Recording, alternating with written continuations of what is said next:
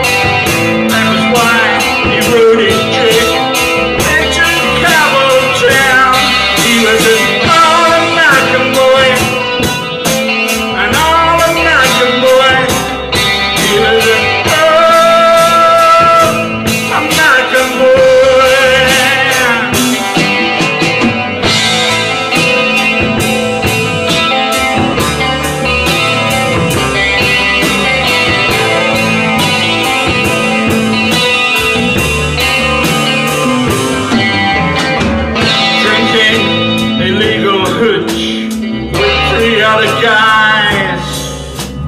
He likes